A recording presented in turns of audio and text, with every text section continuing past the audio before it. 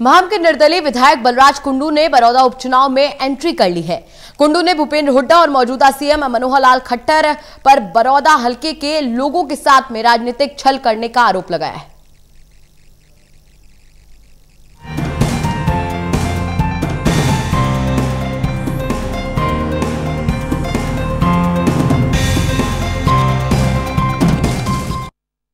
महम से निर्दलीय विधायक बल्लाज कुंडू जी एक बार फिर सुर्खियों में है।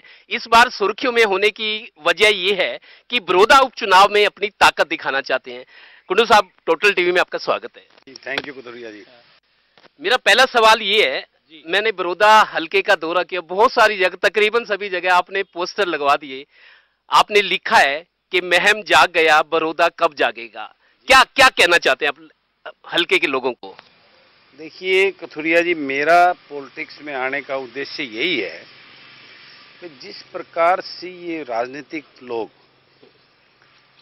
हमारे लोगों के साथ एक इमोशनल कभी चौधर के नाम पर, कभी जो है ना जात पात के नाम पर, कभी और दूसरी बातों के नाम पर जो ये वोट लेते हैं और उनको इमोशनल ब्लैकमेल करके एक ऐसा दौर चला आ रहा है राजनीति का, जिससे आम जनमानस पिसता आ रहा है। मैं हुड्डा साहब अगर चीफ मिनिस्टर बनते, सबसे पहले मैं उनको समर्थन देने का घोषणा करता हूँ। लेकिन यहाँ ऐसा कुछ नहीं हुड्डा साहब आज विपक्ष के नेता हैं, वो विपक्ष के नेता ही रहेंगे, एक विधायक और बनता है तो। तो मैं इस बात के लिए उनको जागृत करूँगा। दूसरी तरफ़, आज हमारे माननीय मनोहर लाल खट्टर जी मुझे पता लगा कि कल वो बोल के गए हैं कि जब तक नया विधायक नहीं आता, मैं हूँ बड़ौदा का एमएलए। मैं लोगों को बताना चाहता हूँ, जरा खट्टर साहब से ये पूछो, छह साल से कितनी बार उन्होंने बड़ौदा की सुध बुध ली है? मैं लोगों को ये बताना चाहता हूँ, इनसे जो लेना चाह, आप लेना चाहते, दो महीने में ले लेना। कोई पूछने वाला नहीं है वहाँ पे फिर। क्योंकि मैं आपको ये बता दूँ, चालीस एमएलए हैं बीजेपी के, मेरे साथी हैं। मैं इस पार्टी से संबंध रखता था, सभी से मेरे पुराने संबंध हैं। सारे अंदर की अंदर घुट रहे हैं और जिस प्रकार से आज उनके अंदर एक माहौल है, लोग जिस प्रकार से उनसे अपेक्षाएँ लेके आते हैं, उनका कोई सुनने वाला नहीं है वहाँ। मैं बड़ौदा से कहता हूँ, बड़ौदा वालों जाग के एक पंचायती मैं आपसे ताकत मांगने आया हूँ, एक और एक ग्यारह बढ़कर हम आपकी लड़ाई लड़ेंगे। आप अपने जैसा कोई कैंडिडेट, कोई आदमी चाहते हैं जो व्यवस्था से, जो उन चीज़ों से लड़े, जिनको हम अच्छा नहीं मानते राजनीति में। मैं वो चाहता हूँ जो राजनीति को बिज़नेस या अपना घर भरने का साधन ना समझते हुए ऐसी सोच के साथ आए जो जनता का सेवक और जनता का वकील बनकर। मैं आपके माध्यम से आज एक और नई चीज़ डिस्क्लोज करना चाहता हूँ आपके सामने पहले। मैं एक मंच मैंने बना लिया है। जन सेवक मंच। मैं पूरे प्रदेश में ऐसे लोगों को उस मंच पे इकट्ठा करूँगा जिनका राजनीति में उद्देश्य जनता की सेवा करना है। और उसी के माध्यम से मेरी शुरुआत मैं बड़ौदा चुनाव से करने जा रहा हूँ। मेरे पास कोई बड़ौदा के लोगों को मैं जागरूक करूँगा।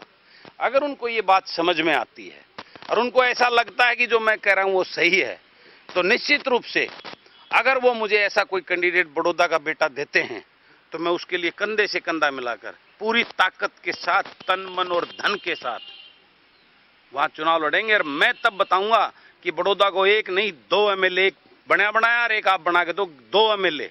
और वो दो एमएलए ग्यारह एमएलए का काम करके विधानसभा में इनके हक की किसान की बेरोजगार की गरीब की कर्मचारी की छोटे व्यापारी की सबकी लड़ाई लड़ेंगे। ये मैं उनको जागृत करूँगा। लेकिन मेरा पहला उद्देश्य है मेरा पहला टारगेट मैं आपको बताना चाहता हूँ मेरा सबसे पहला टारगेट इस ताना सर, सरकार मनोहर लाल खट्टर जी की सरकार को जवाब देना है। वहाँ से भारतीय जनता पार्टी के कैंडिडेट की जमानत जब्त कराना पहला उद्देश्य है। चुनाव में बहुत सारी चीज़ें होती हैं। रातों रात सब कुछ बदल जाता है। बड़ौदा के लोग इस बात से आश्वस्त रहे कि बल्लाज कुंडू कोई फिक्सिंग नहीं करेगा मैच में। सौ परसेंट नहीं एक हज़ार परसेंट इस बात का मैं कहीं भी खड़ा हो कहता हूँ बलराज कुंडू फिक्सिंग जिस दिन करके उस दिन बलराज कुंडू राजनीति छोड़ के अपने बिज़नेस में चला जाएगा।